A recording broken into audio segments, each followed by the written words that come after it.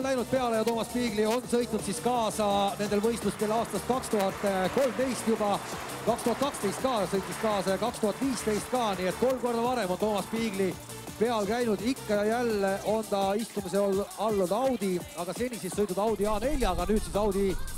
Audi A8, vähe suurema masina on võtnud ja sada üheksakümmend viis kilomeetrit tunnis on ta hetkel sõitnud välja poole maa peal pool maad on siis kaheksasada meetrit.